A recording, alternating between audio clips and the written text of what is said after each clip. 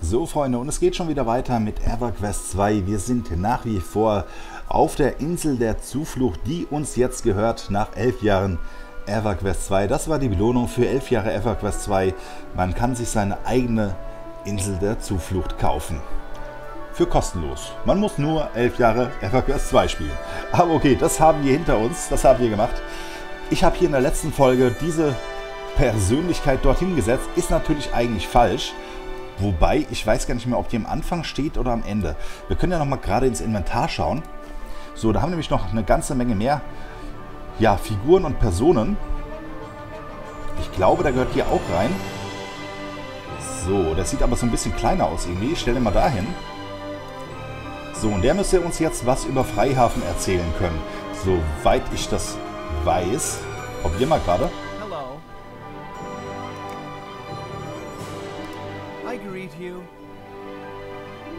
Hinfort mit euch, euresgleichen sind zu schwach, als dass euch Freihafens Mauern Schutz gewähren würden. Ah ja, okay, liegt natürlich daran, dass ich bereits Mitglied von Kanos bin. Und wir haben ja damals am Anfang von dieser Staffel die, ähm, die Verräterquest gemacht. Das heißt, ich glaube schon. Ich hoffe, dass man euch auf den Inseln angemessen. Ich glaube schon, dass wir hier richtig mit diesen Charakteren sprechen können. So wie früher beim Start von EverQuest 2. Aber da ich jetzt schon Mitglied von Kenos bin, will natürlich der Botschafter Freihafens nicht mehr mit mir reden. So.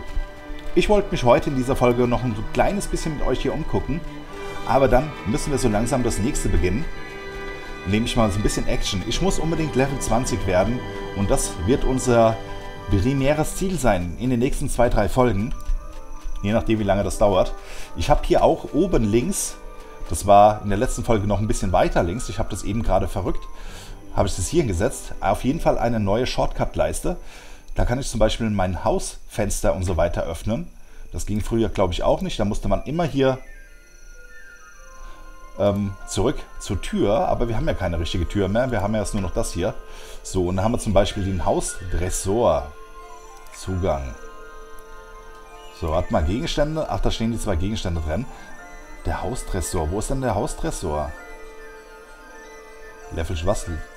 Layout speichern, Layout laden. Ach, da kannst du hier Gegenstände einsammeln und so weiter. Portalobjekt holen. Persönliche Tutorial-Insel wurde eurem Inventar hinzugefügt. Jetzt steht es nochmal. Aber ich weiß nicht, wo das ist. Ich finde das einfach nicht.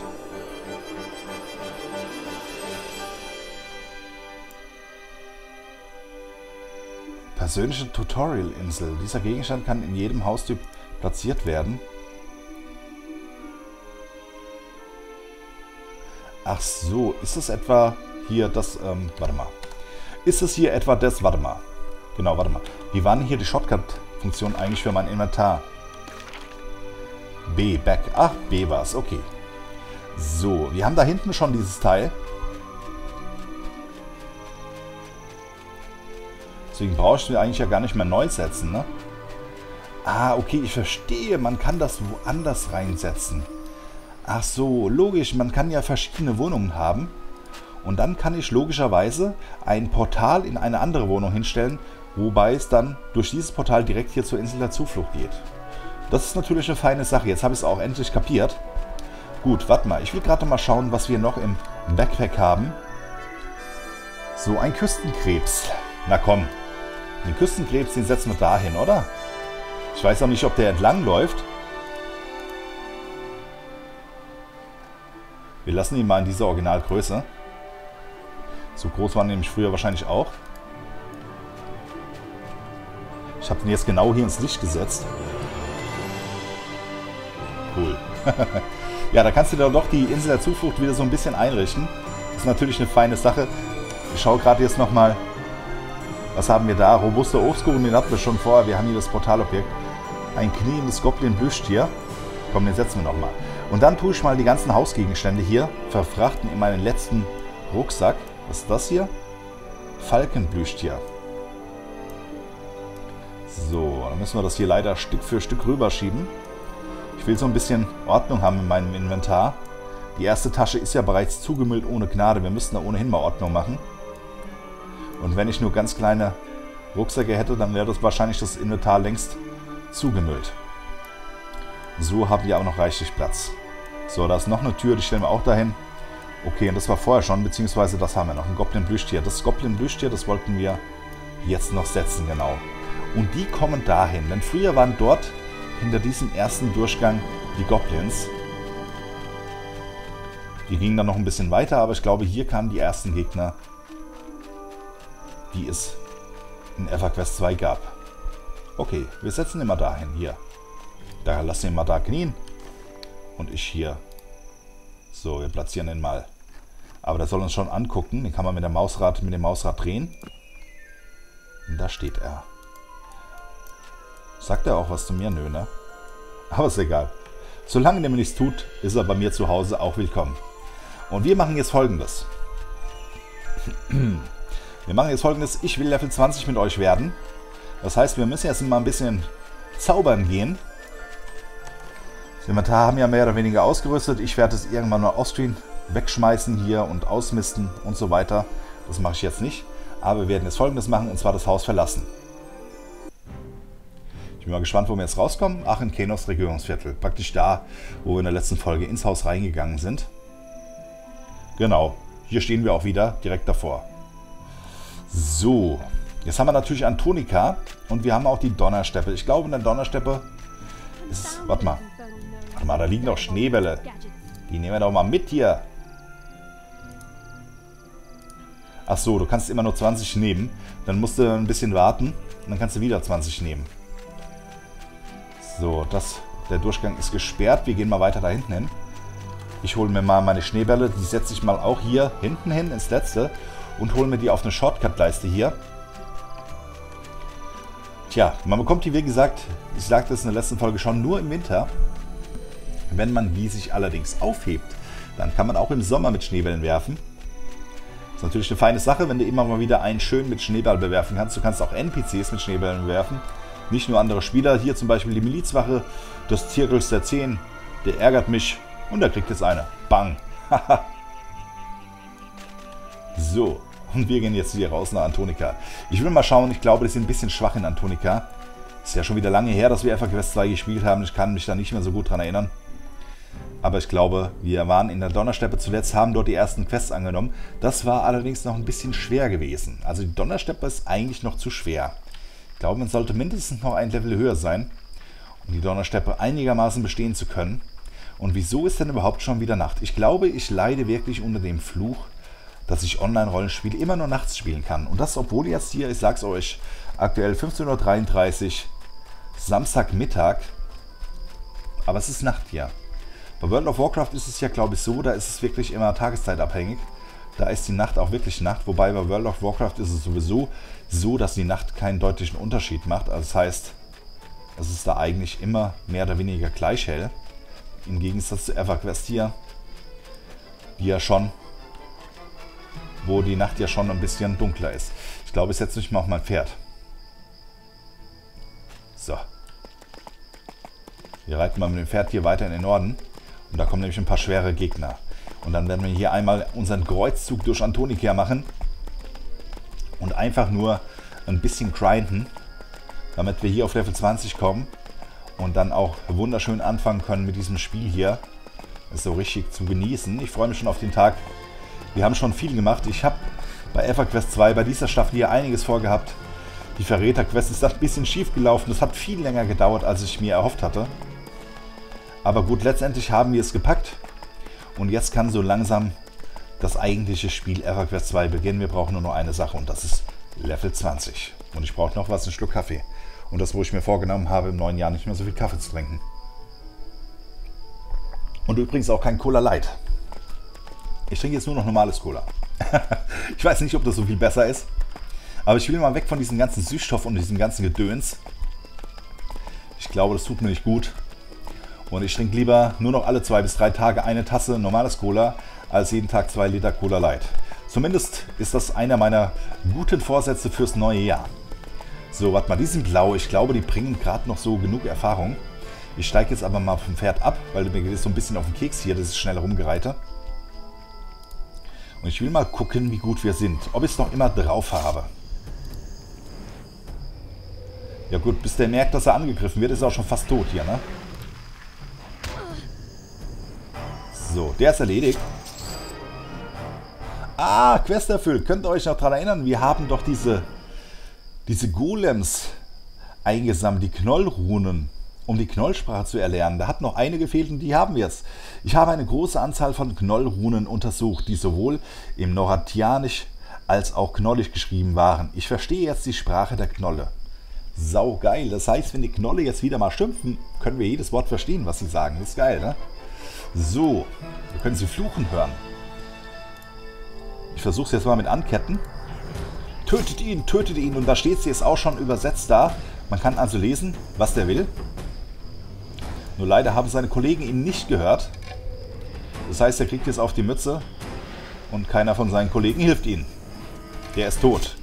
Ja, der ist tot. Der ist tatsächlich tot. So, und was gab's? Hundespeichel, na toll. Hat mir gerade noch gefehlt in meinem Sortiment. Aber ich glaube, wir müssen trotzdem noch stärkere Gegner finden als hier diese blauen. Tötet ihn, tötet ihn, jawohl. So, auch der ist erledigt. Ich habe jetzt gar nicht auf die Erfahrungsanzeige geschaut, wie viel Erfahrung es gibt. Der ist sogar grün. Komm, wir gehen nochmal tiefer rein hier. Das bringt ja nichts, ne? Weiß oder gelb. Wir müssen da am Orakelturm vorbeigehen. Das da vorne hier ist der Orakelturm. Dann sehen wir wahrscheinlich auch die ersten gelben Gegner. Da sind nämlich so Bären, die sind relativ stark. Genau da will ich hin. Hier irgendwo an dieser Straße läuft auch die legendäre Holly Windpirscher vorbei. Das ist ein Gruppengegner mit drei Fallen nach oben.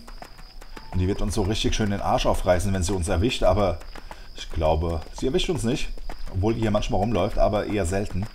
Und die kommt immer nur dann, wenn man sie nicht erwartet. Wenn du hier gerade am Kämpfen bist oder so, dann fällt sie einem in den Rücken. Und dann ist man meistens sofort tot, weil die schon ziemlich stark ist. So, warte mal, in welche Richtung? Hier einfach mal weiter. Die sind jetzt auch blau. Das sind diese Eidechsen hier. So, aber jetzt müsste es so langsam anfangen, ne? Bei dem Windpirscher Dorf. Auch hier gibt es eine riesige Fauna und da ist schon der erste. Ich hab's gewusst, ich hab's gewusst. So, wir werden den mal töten. Der ist gelb, also im Level über uns. Aber mal schauen, wie es klappt. Das Festbinden hat schon mal nicht geklappt.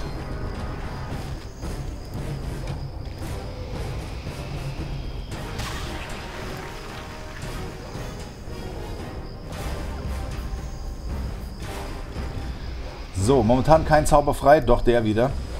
Wir haben definitiv einen Zauber zu wenig. Ich hoffe, dass wir auch mit Level 20 einen neuen Zauber bekommen. Bei dem wir dann so richtig schön im Dauerfeuer die Gegner behaken können. So, nächste. Wir probieren es wieder mit Festketten. Und diesmal hat es funktioniert. Dafür hat er hier meinen ersten Zauber widerstanden.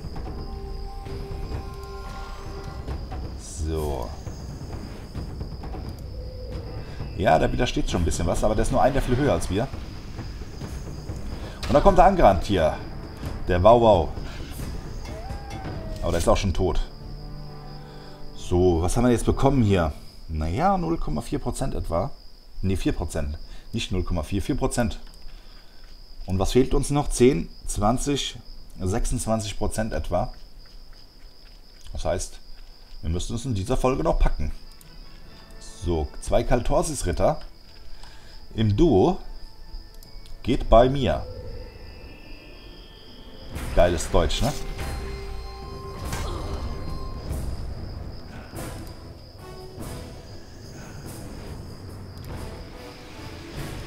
So, wo ist denn der zweite hin?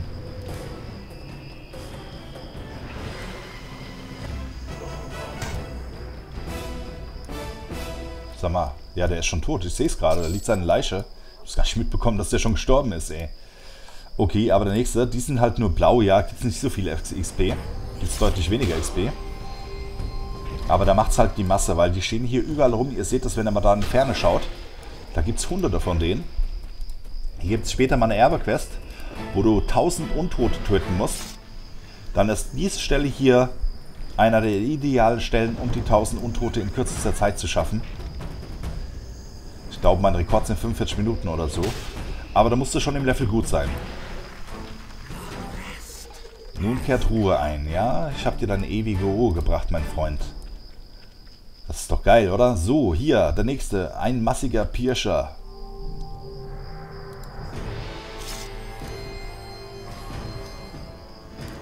Auf geht's.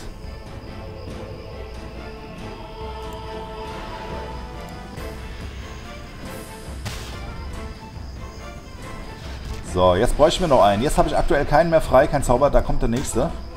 Mir fehlt also noch ein Zauber, um hier wirklich durchgehend ballern zu können und wir haben die nächsten 10% geschafft.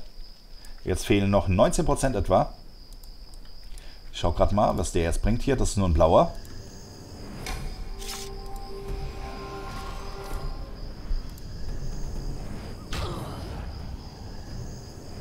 Und wenn ihr EverQuest 2 selbst spielt, dann empfehle ich euch folgendes und zwar Egal wie, immer alle Skills durchdrücken. Auch hier anketten, obwohl man es gar nicht braucht. Ich habe es eben in diesem Fall nicht gemacht. Ist aber ein Fehler, das werdet ihr später bitter bereuen. Wenn ihr zum Beispiel nie Gegner ankettet. Angenommen, ihr spielt immer in der Gruppe und ihr kettet nie Gegner an. Und irgendwann spielt er nicht mehr in der Truppe, dann seid ihr im Anketten total schlecht, weil hier neben dem Zaubern selbst auch noch Skills steigen. Ihr seht zum Beispiel hier, wo sehe ich es denn gerade? Ah, jetzt sehe ich gerade nichts. Sie sehen, dass sie nichts sehen. Nee, aber manchmal steht das, sie haben das und das hier bekommen. Und das heißt, es gibt hier Fähigkeiten zum Anketten, die man braucht. Keine Ahnung, wie sie heißen. Aber die muss auch gesteigert werden. Und die steigert nur, wenn man diesen Skill auch benutzt. Das heißt, wenn ihr den nie benutzt habt, dann seid ihr irgendwann Level 90 und dann seid ihr am Arsch, weil ihr habt den Skill einfach nie benutzt. Ihr könnt bei Null anfangen. Und deswegen immer alles schön durchprobieren. Auch schön im Nahkampf. Du musst ein, eins auf die Mütze bekommen damit du deine Abwehrfähigkeiten steigerst. Auch das ist scheiße, wenn du immer in einer Gruppe spielst, denn meistens hast du ja als Damage-Dealer, so wie ich einer bin, einen Tank. Das heißt, der fängt den ganzen Schaden ab. Das ist aber das Problem, was du dann hast später, dass du keinen Schaden aushältst, weil du diese Fähigkeit gar nicht gesteigert hast. Deswegen immer schön alles abwechselnd machen. So, das sind blaue hier. Ich wollte es eben gerade schauen, wie viel Erfahrung die kriegen. Wir sind jetzt aktuell bei 0,5, also bei 5, bisschen weniger. So viel Erfahrungspunkt bringt er gar nicht hier. Also die Gelben sind da schon ein bisschen besser. Guck mal, wo die Gelben sind. Das sind Bären. Das sind Bären. Die sind weiß. Okay, schon mal besser als blau. Immerhin vier Stück. Die werde ich jetzt einer nach dem anderen dezimieren. Mir fällt gerade ein, dass ich vergessen habe, auf die Uhr zu schauen. So, aber ich will hier das Level noch fertig machen. Ist mir egal, wie lange. Wir machen das auf jeden Fall noch. Dass wir in der nächsten Folge dann so richtig schön loslegen können. So. Oh, und der ist sogar gelb. Der ist sogar gelb. Und das Ketten hat auch funktioniert. Das ist geil.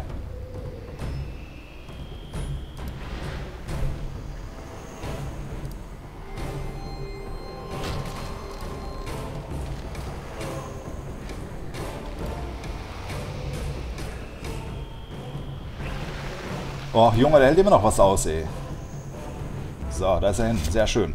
Und wir sind bei den letzten 10% fast angekommen. Vielleicht noch eins. Ihr seht, dass ich immer mit der Maus hier auf diese Icons klicke. Das ist eigentlich eher ungünstig. Ich habe, glaube ich, habe die ersten zwei Jahre so gespielt, dass ich immer mit der Maus auf den Icons geklickt habe. Dann habe ich irgendwann mal angefangen, einen Heiler zu spielen und dann war das absolut unmöglich. Da musste viel schneller reagieren. So, hier habe ich allerdings das Problem, ihr seht, da steht oben Alt, Alt 1, Alt 3, Alt 4 und so weiter. Ich habe praktisch die falsche Leiste hier. Ich bräuchte die Leiste mit 1, 2, 3, 4, 5, die ich hier unten habe, um es einfach nur mit der 1, 2, 3, 4, 5 zu drücken. Für die oberen Zauber muss ich immer die Alt-Taste mitgedrückt halten. Ich muss irgendwann mal diese Leisten ändern. Hier zum Beispiel Steuerung gedrückt halten dabei, so dass ich meine Hauptspells auf 1 bis 9 habe und dann von mir aus auf der unteren Leiste die Spells mit Alt und so weiter. Aber da ich das nicht gemacht habe, drücke ich halt hier immer drauf, so lange. Momentan geht's, jetzt wird es auch endlich hell. Wo sind eigentlich, waren das jetzt vier Bären oder waren das nur drei Bären? Ich glaube, der vierte Bär ist abgehauen, der ist da hinten, ne? Ja, auf jeden Fall das mal zur Begründung, warum ich das immer hier mit der Maus anklicke. Aber normalerweise empfiehlt sich das mit der Taste zu machen. Ich mache mal hier Taste 4. Ihr seht, das geht viel schneller. Aber Alt F4 ist ein bisschen blöd zu drücken. Ich muss die Leisten definitiv umlegen. Wobei als Zauberer geht es noch, wie gesagt, ich habe zwei Jahre lang so gespielt, aber als Heiler, wo du dann ein bisschen mehr auf Schnelligkeit und so machen musst, Da ist es dann natürlich scheiße. Solltet ihr die Leisten auf jeden Fall so setzen, dass ihr hier das mit den Zahlen mit der Tastatur bedienen könnt. So, die nächste Sammlung. Dankeschön. Hat der Bär was verloren? Nö, der hat nichts verloren. Was ist hier mit dem Holzfäller? Auch nichts. So, aber da oben ist der nächste Bär. Ist auch wieder ein gelber, der bringt ein bisschen mehr Erfahrung. Also, so wie die anderen gelben auch. Auf jeden Fall ein bisschen mehr als die blauen. Dann werden wir den auch mal ins Visier nehmen.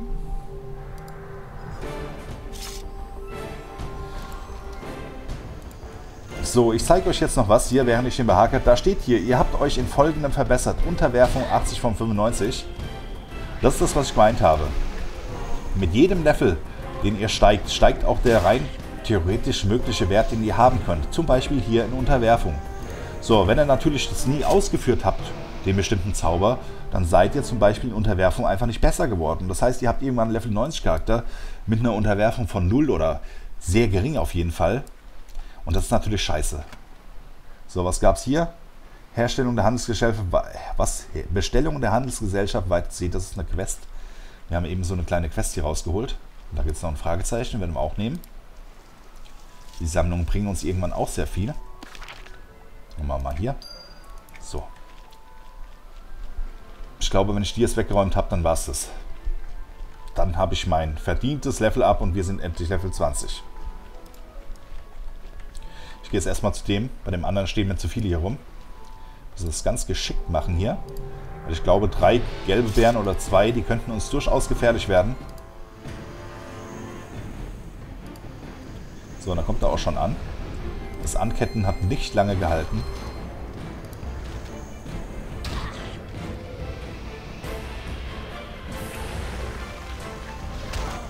So. Und der hat auch wieder eine Truhe verloren. Leiche von Riesen Kodiak Bär. Was? Nee. Was gab's da? Ach, schon wieder eine Bestellung. Also die nächste, die nächste Aufgabe, Wegelager. Ja, die sind böse, böse Gesellen sind das. Deswegen werde ich dem jetzt mal den Arsch aufreißen. We have visitors. Wir haben Besuch. Ja, nicht mehr lange. Dann habt ihr keinen Besuch mehr, weil ihr nicht mehr da seid.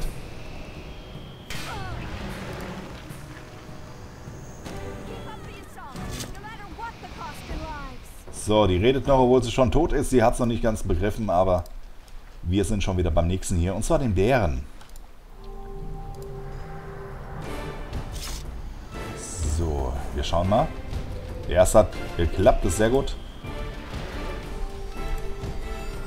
Der hat auch geklappt. So muss es sein. Und da kommt er an. Aber er ist auch gleich tot.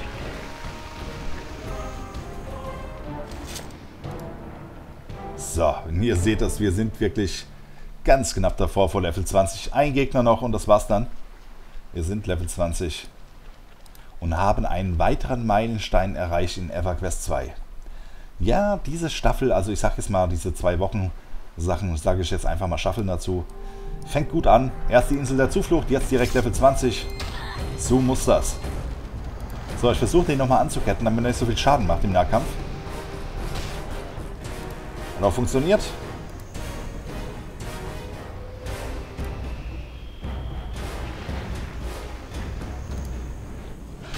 So, und jetzt hier der vernichtende Schlag. Auf geht's. Ich habe keinen frei aktuell. Jetzt doch wieder. Hier, auflösen 3. Und wir sind Level 20. Yeah. So, wir bekommen einen neuen, was ist das, Buff, ne? Wir bekommen den neu, sehr schön. Auch wieder ein Buff. Sehr geil, sehr geil, sehr geil. Und das war's leider. Keinen neuen Zauber. Oder doch, hier machen wir doch auch Giftschaden. Warte mal. Nee, das ist ein Buff. Schade. Wenn das Ziel Schaden nimmt, hat dieser Zauber eine Chance von 25% folgendes zu wirken. Nihilismen auf Angreifer des Ziels. Also doch leider nur ein Buff und keinen neuen Zauber. Das heißt, wir haben auch zumindest bis Level 21 wieder Pausen in den Kämpfen, Lücken. Aber das macht nichts, denn jetzt hat sich einiges geändert. Gut, Freunde, was sich geändert hat, das schauen wir uns in der nächsten Folge an. Ich mache mal ein kleines Päuschen und wir sehen uns in Kürze wieder. Macht's gut, bis dann.